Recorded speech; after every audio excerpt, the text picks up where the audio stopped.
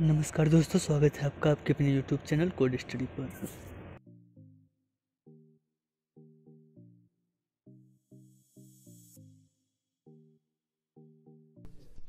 दोस्तों, देखिए hacker ranking के पेज पे आ गए हम, यह क्वेश्चन फिफ्थ है लूप्स का पाइथन में।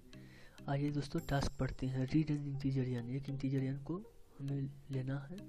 For all non negative integers i is less than n सारे नॉन नेगेटिव इंटीजर्स जो कि एन से लेस हैं। मतलब कि अगर हमने एन की वैल्यू फाइव ले ली तो फाइव से लेस जितने सारे नॉन नेगेटिव इंटीजर्स हैं। फाइव से लेस मतलब zero one two three four zero इसलिए इंक्लूड होगा क्योंकि ज़ीरो भी नॉन नेगेटिव इंटीजर्स में आता है। ज़ीरो पॉजिटिव नेगेटिव कुछ भी नहीं होता, इसलिए नॉन नेगेटिव इंटीजर्स में ज़ीरो भी ले लिया जाएगा। अब हमें आई स्क्वायर को प्रिंट कराना है। तो सब, सारे जो वैल्यूज़ हैं, सबकी स्क्वायर प्रिंट करा देना है। अब टास्क समझ में आ गया आपको? आई इनपुट फॉर्मेट देखते हैं। First and only one line the integer n contains the integer n मतलब कि सिर्फ़ एक लाइन होगी और वो इंटीजरियन कंटेंट करेगी। मतलब कि हमें सिर्फ़ एक लाइन में इनपुट लेना है, सिर्फ़ एन इनपुट लेना बाकी कोई इनपुट हमें लेने की ज़रूरत नहीं है। एन की वैल्यू यहाँ पर दे दिया। ऐसे नॉट में लिए इसका कोई मतलब नहीं। आउटपुट फॉर्मेट देखते हैं। प्रिंट एन लाइन्स मतलब कंस्टेंट्स क्या है कि जो एन की वैल्यू है ट्वेंटी से लेस ही लेगा। वो इसलिए क्योंकि यहाँ पर आउटपुट का अपना रूल है मतलब इन्होंने अपना डिसाइड किया है। क्योंकि अगर ज़्यादा वैल्यूस ले लेंगे तो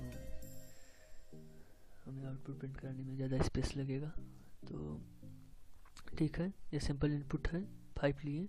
फाइव के लिए हम सबके लिए अलग अलग स्क्वायर प्रिंट कर दिया।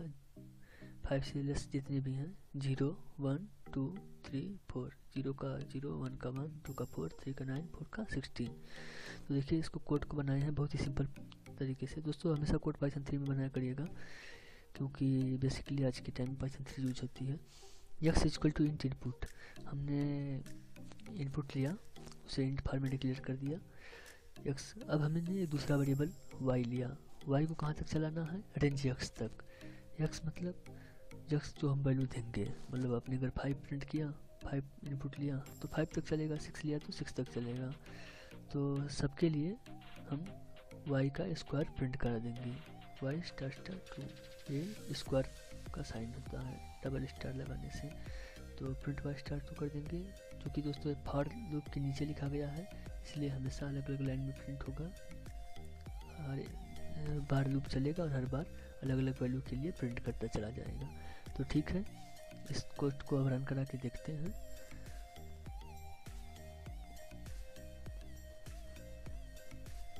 देखिए सिंपल टेस्ट का ज़ीरो पास कर गया। अब आइए इसे सबमिट करा के देखते हैं बाकी सारे टेस्ट केस के लिए।